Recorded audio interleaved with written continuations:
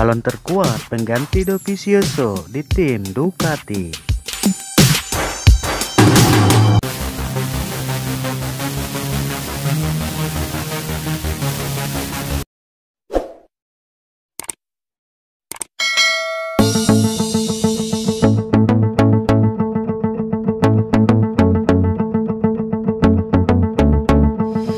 Hingga saat ini, tim Ducati Nissan Win Now belum dapat menentukan line up pembalapnya untuk musim MotoGP 2021 mendatang.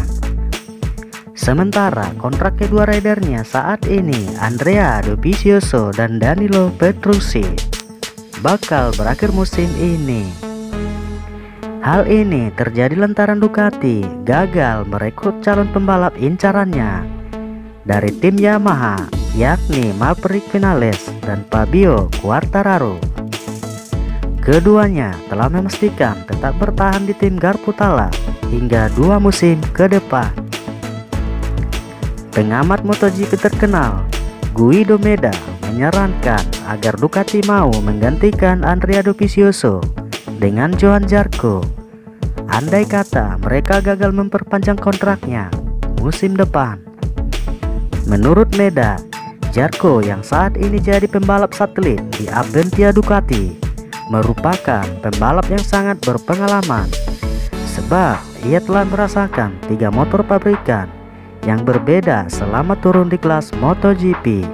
Tentunya Yamaha, Honda, dan Ducati selama tes pramusim MotoGP 2020 penampilan Jarko di atas motor Ducati Desmodici terbilang cukup bagus. Tidak seperti menunggang motor KTM pada musim 2019 lalu. Ducati adalah motor yang bagus dengan Dovizioso sebagai pembalap yang mampu memaksimalkan motor. Hal yang harus dilakukan adalah membuat Dovizioso nyaman baik dari sisi teknis maupun kemanusiaan. Ducati masih memiliki Jack Miller, Francisco Bagnaia, dan Petrucci ada juga Jarko yang tidak buruk saat tes dengan Ducati. Jika mereka kehilangan Dopi, Jarko bisa menjadi pertaruhan yang bagus. Ucap Meda mengutip dari laman Paddock GP.